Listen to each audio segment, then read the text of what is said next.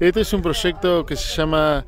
eh, proyecto de repoblamiento vino y fortalecimiento territorial de las comunidades mapuche de la región sur de Río Negro. Con el volcán Puyehue y la sequía, eh, las majadas se mermaron en la provincia en un 70-80%, o sea, de un millón y medio de cabezas de ganado ovino y 120 mil eh, cabezas caprina, nos quedamos con aproximadamente 400 mil cabezas ovina y 80 mil cabezas caprina. El objetivo del proyecto es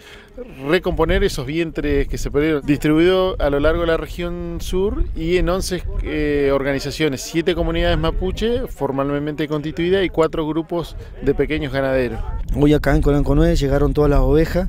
eh, se les repartió a los 16 productores 50 ovejas, 2 reproductores, 2 carneros con todo el insumo veterinario, con todo lo que tiene que ver con temas de forraje.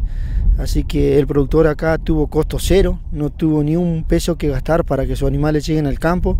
con el esfuerzo que ha puesto el proyecto y con el esfuerzo que han puesto ellos de unirse, porque lo que dejó este proyecto es una gran unión, una gran esperanza de seguir haciendo cosas, de seguir que, creyendo que se puede en la unión